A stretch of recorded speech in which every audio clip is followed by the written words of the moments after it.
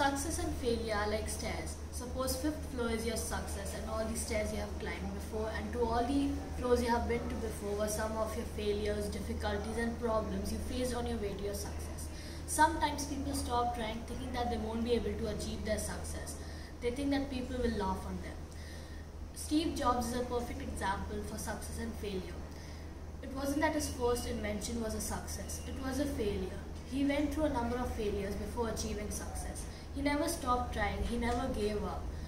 He, he, he bear the failure, he overcame it, he learned something from it. Bear the failure, overcome the failures for your own success.